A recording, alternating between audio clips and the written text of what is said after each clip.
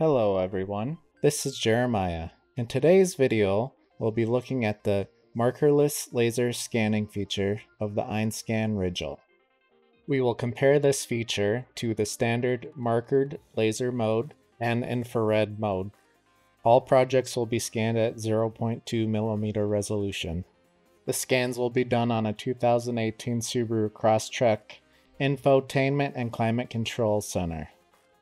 You can see that I've started the markerless laser scan. The Rigil never had a single tracking issue, but EXScan did crash during the first attempt.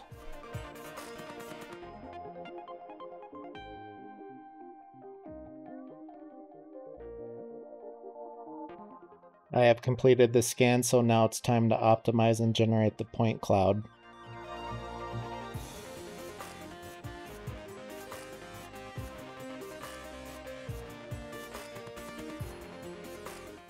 Now it's time to mesh the model. I'm going to select standard filter, standard smooth, and remove spikes. Meshing looks good, so I will confirm it. Here's a quick look at the scanned model. Uh, later, after we do the other two scans, I will compare this in great detail.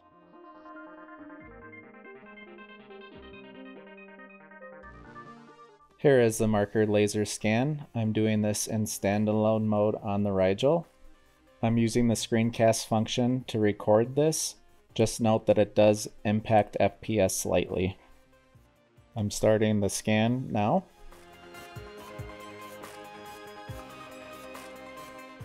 You'll see throughout this recording that the green laser lines are turning magenta sometimes. That just means it's losing tracking. I probably didn't have enough markers or I just didn't have them in the right locations, but it still worked.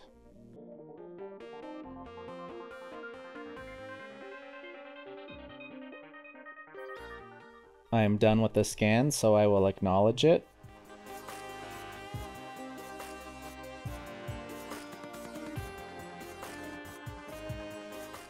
The point cloud data looks good here, so we'll go ahead and generate the mesh.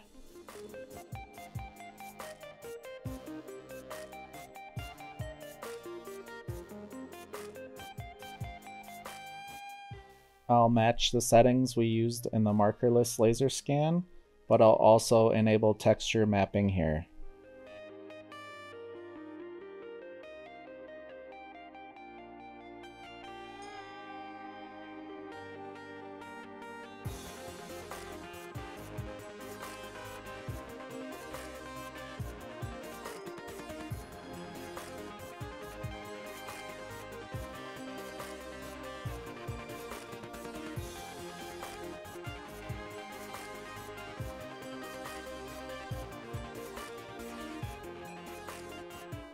The mesh looks good, so we'll complete it.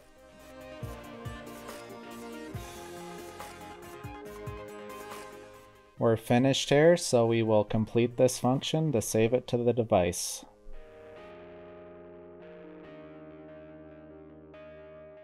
Here is the infrared scan.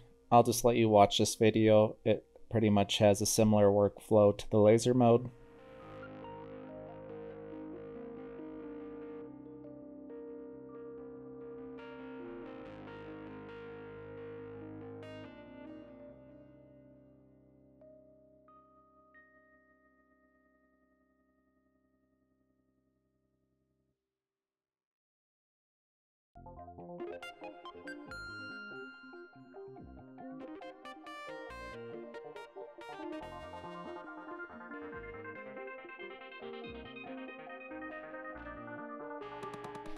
You'll see that we cannot mesh hair at 0.2 millimeters on device. I'll go ahead and switch to EXScan, import the project, and mesh at 0.2 millimeters.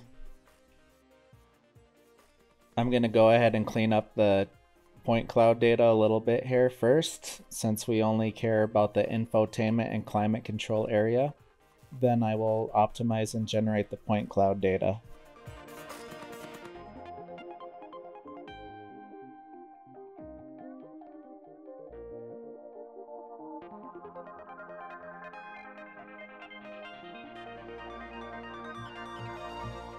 The point cloud data looks good here. I could turn the texture on and off. I'll go ahead and generate the mesh data.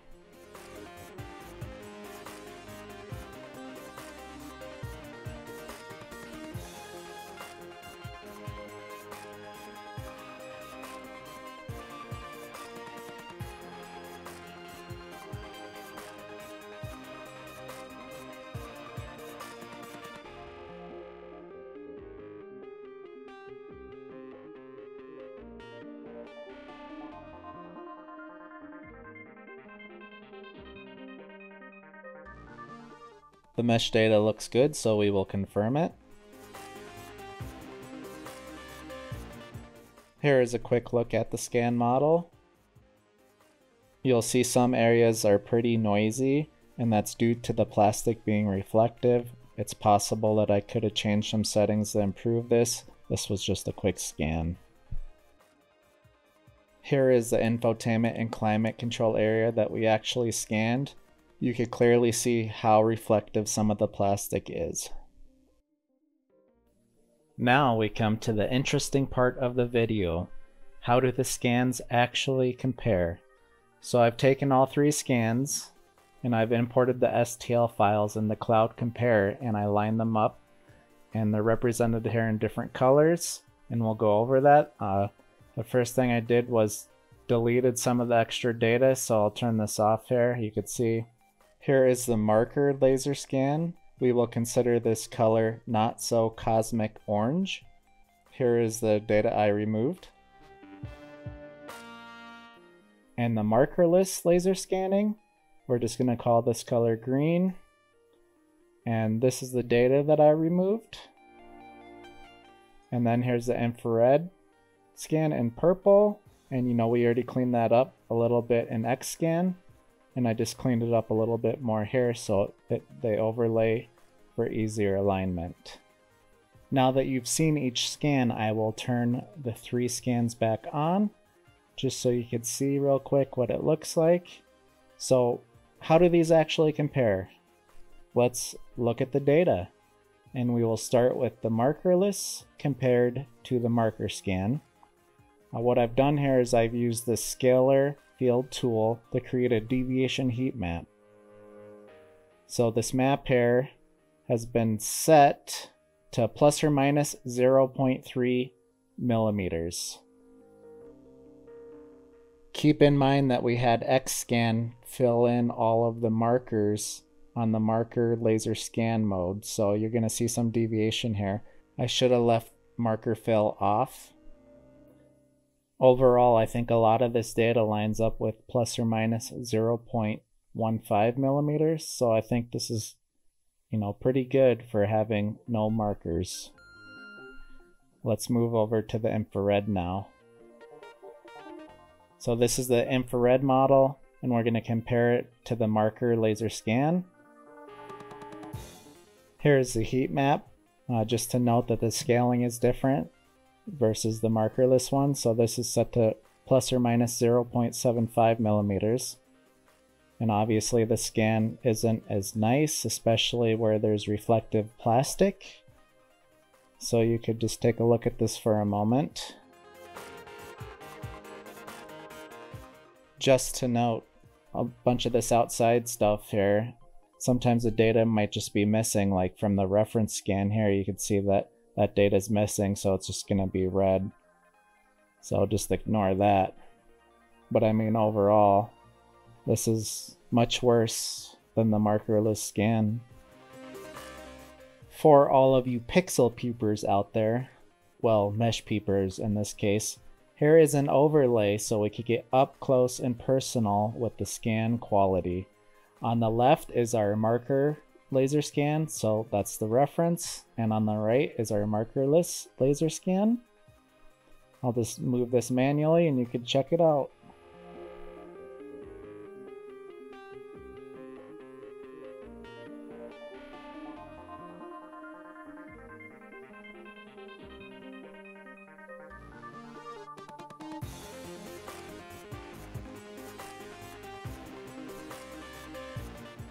marker versus markerless up close.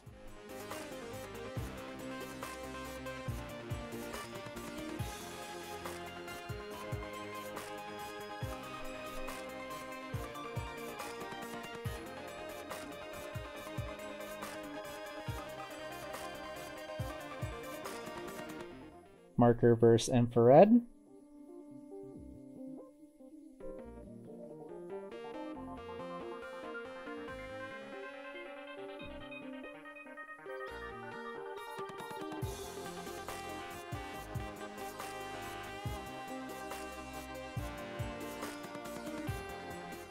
Marker versus infrared up close.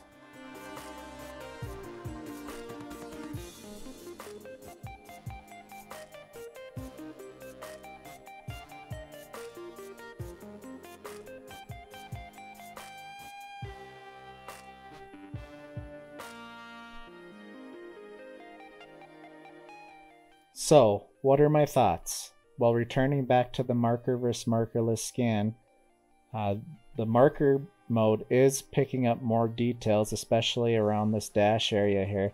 You can see the bumps are more pronounced, and that's actually true of the actual dash.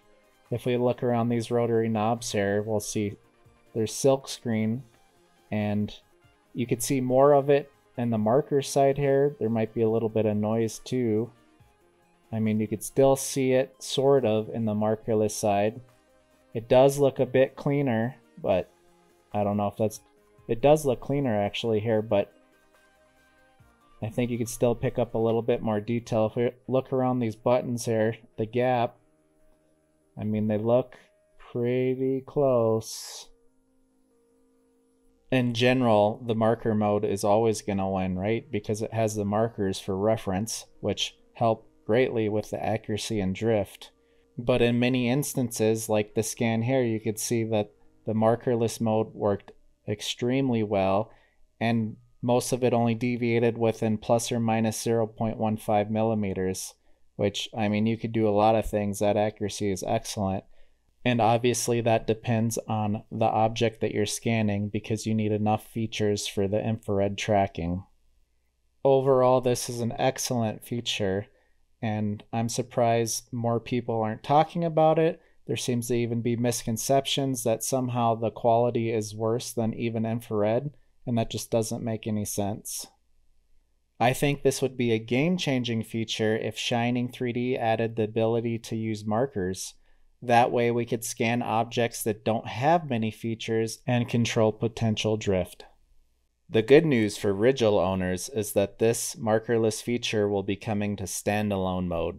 This was stated in the FAQ about the Einscan Rigil on Einstar's website. I imagine that the Einstar Rockit will have similar results with the marker-free laser scanning, since the scanning hardware is similar to the Rigil. Well, this concludes my video. Thanks for watching.